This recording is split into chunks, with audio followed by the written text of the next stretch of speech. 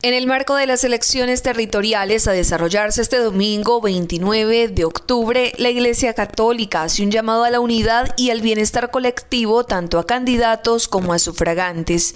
En un tiempo en el que las opiniones políticas pueden generar divisiones, la Iglesia busca promover la importancia de trabajar juntos por el bien común.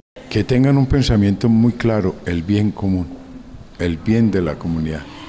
Y el bien de la comunidad se da cuando cada uno de los candidatos trata de pensar en el futuro de Ocaña, no en el futuro personal, sino en el futuro de Ocaña para construir una comunidad de progreso, de desarrollo y de la unidad en el Señor y así poder nosotros sentir la alegría que es una acción democrática.